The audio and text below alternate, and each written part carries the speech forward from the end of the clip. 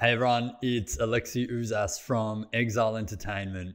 In this video, I'm going to give you five ways that you can cast big name actors in your indie film.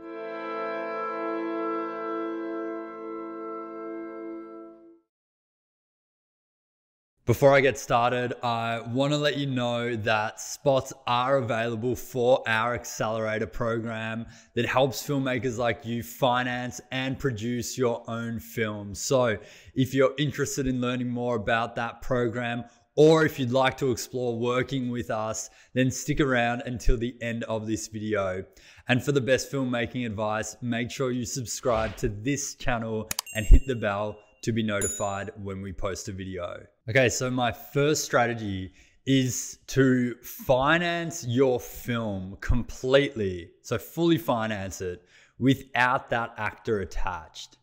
Then once the film is fully financed, pitch the project to the actor's agent, telling them that the film is fully financed and that your dates are locked. Negotiate a rate with that agent and then take the film to market and cover the actor's fee through the marketplace. By the marketplace, I mean distributors and sales agents. So, what you're doing is you're essentially financing the film without the need to have an A list actor attached.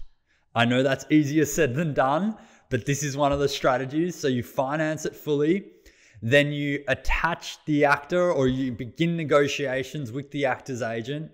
You find out what the fee is going to be, or you get a rough idea of what it will be. Then you take the film out to distributors and sales agents and try and lock in a deal.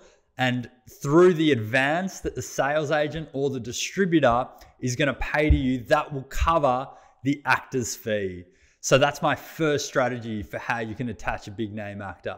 My second strategy is to think outside the box, avoid the typical industry protocols, and start to get creative in the ways that you can approach an actor, engage an actor in the project, and ultimately cast them. So, the example that I want to give for this strategy is the King's Speech. So, it it said that the UK theatre producer of the um, originally it was a theatre project, The King's Speech, and the producer of that project wanted to get the script in front of Geoffrey Rush. So they contacted a friend in Australia to ask if they knew the uh, the actor's agent. And the person in Australia actually said that they lived in the same neighborhood as Geoffrey Rush. So rather than going through the agent, what they did is they um, delivered the script in a brown paper bag to Geoffrey Rush's residence in Australia, in Melbourne. Apparently, it was sitting on his doorstep and he took it in. And of course, the rest is history. And so I wanted to give you this example because sometimes you do have to think outside of the box a bit when it comes to casting uh, actors in a project. You know, it is very hard to get through agents. It's hard to um, abide by the typical protocols when you're making an indie film, when you're an independent filmmaker. So thinking outside the box and getting creative is my second strategy.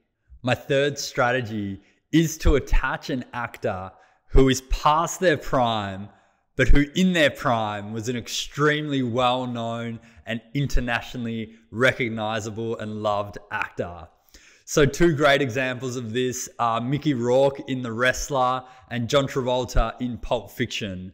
So, these were two brilliant casting moves. And especially in the case of The Wrestler, but I mean, likely in the case of both of those films, those two actors were well past their prime. And attaching those actors was a really brilliant move when it came to casting. Uh, it likely meant that they were actually able to cast those actors without too much issue. And of course, those actors are extremely talented um, actors. The performances they gave in both of those films um, are some of the greatest and most memorable performances of all time. And of course, those films, um, while we obviously you know, looking back at them now, they seem like kind of big films, but at the time, they were both indie independent films. This is one really good way of attaching a big name actor to your indie film that's going to be able to bring in um, some money up front from distributors and sales agents, even if it's a small amount. Uh, but ultimately, it's going to guarantee you a really great performance and it's going to help your film shine uh, and hopefully perform really well once it's released. So that's my third strategy. My fourth strategy is to attach a big name actor who is not based in the US. So the reason to do this is that US agents and managers are notoriously difficult to uh, to get through, to kind of even get them to open an email or to respond to. But if you can find a really talented actor outside of the US who is again internationally recognizable, who has some clout, then a way around going through the US agents is to then go through the agents or managers that that actor has in their home country or outside of the US. So this is a really good way to try and get the project in front of that big name actor. Obviously, it's still going to end up having to go through the US agent at some point. But what you're trying to do is get the project in front of the actor, get them and their team really interested in the project, get buy-in from them before it even gets to the US side. So that when ultimately you have to deal with the US side, you already have the actor and their team wanting to do the project. So this is a bit of a workaround, and it's really just because uh, it is more difficult to deal with agents and managers in the US. So finding an actor that is big outside of the US and going through their management team, their agency outside of the US is a is a bit of a workaround that you can use. My fifth and final strategy is to actually just be relentless when it comes to attaching uh, cast and contacting agents and trying to get the project in front of them. So, what I highly recommend that you do when you're trying to attach a big name actor is to basically put together a list, kind of wish list of all the actors that you'd want to work on your indie film. Say around 20, even 30 actors for each role. Then prioritize them from 1 to 30 and then just start working down the list, contacting their agents and being relentless in your follow up to them until you get an answer.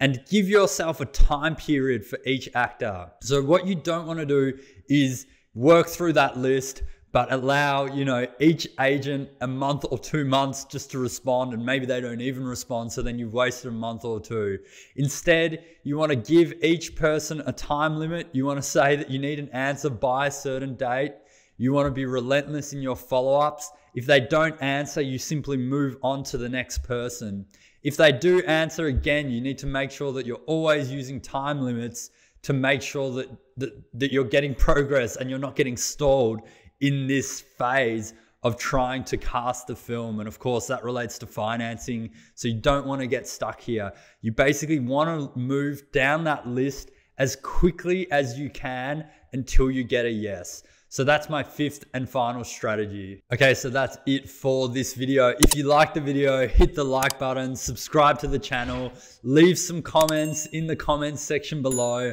and let me know some of the strategies that you've used in casting big name actors in your indie film. And if you're interested in working with us to help cast your film or finance your film, produce your film, or even distribute your film, then head to the link in the description below. You'll be taken to a page where you can learn more about how we work and you can set up a time to speak with me or a member of my team about working with us at Exile. And check out these videos next on how to up your filmmaking game.